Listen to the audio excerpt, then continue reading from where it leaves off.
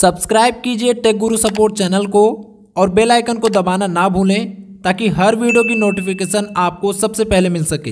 दोस्तों, इस वीडियो में मैं आपको बताने वाला हूँ कि अपने किसी भी सैमसंग के मोबाइल में डेटा रोमिंग कैसे ऑफ़ करें, यानी कि अपने सैमसंग मोबाइल से डेटा रोमिंग कैसे हटाएँ।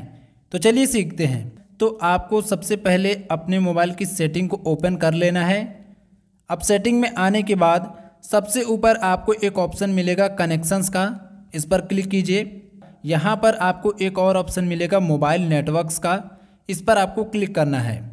अब मोबाइल नेटवर्क्स में आने के बाद आपको सबसे ऊपर एक ऑप्शन मिल जाएगा डेटा रोमिंग का। अगर आपको ये ऑप्शन अभी भी नहीं मिल रहा है तो आपको यहाँ पर एक ऑप्शन मिलेगा सर्च बटन का। यहाँ पर देखिए सेटिंग में सर्च बटन का एक ऑप्शन होता है। इस पर क्लिक कीजिए।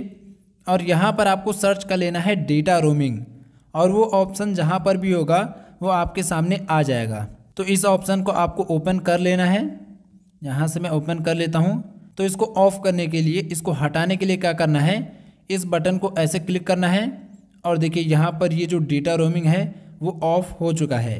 अगर आप इसको दोबारा से ऑन करना चाहते हैं तो फिर से इस पर क्लिक कीजिए और ये ऑन हो जाएगा। तो यहाँ पर मैं इसको ऑफ़ कर देता हूँ। इस प्रकार से आप अपने सैमसंग के मोबाइल में डेटा रोमिंग को हटा सकते हैं या फिर ऑफ़ कर सकते हैं।